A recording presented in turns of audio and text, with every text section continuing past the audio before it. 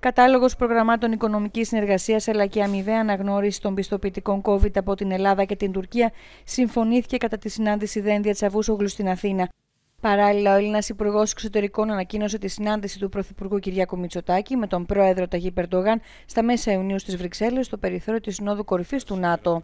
Έχουμε πλήρη επίγνωση των διαφορετικών και σε αρκετά ιδιαίτερα σοβαρά θέματα των διαμετρικά αντίθετων θέσεων που πρεσβεύουν. Σκοπός της σημερινής μας συνάντησης ήταν να επιχειρήσουμε μια διαδικασία πρώτης συνεννόησης και αν αυτό καταστεί δυνατόν σταδιακής ομαλοποίησης της κατάστασης σε βάθος χρόνου. Ο Υπουργός Εξωτερικών της Τουρκίας τόνισε ότι υπάρχουν πολλά ανοιχτά ζητήματα που πρέπει να επιληθούν και τόνισε ότι η Άγκυρα επιδιώκει να συνεχίσει τη σχέση της με την Αθήνα χωρίς όρους και προποθέσει.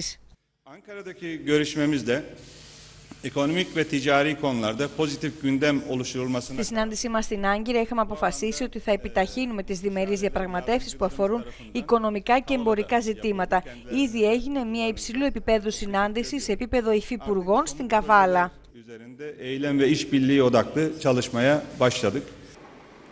Σε καλό κλίμα έγινε και η συνάντηση του Πρωθυπουργού Κυριάκου Μητσοτάκη με τον Υπουργό Εξωτερικών της Τουρκίας Μευλού Τσαβούσογλου στο Μέγαρο Μαξίμου.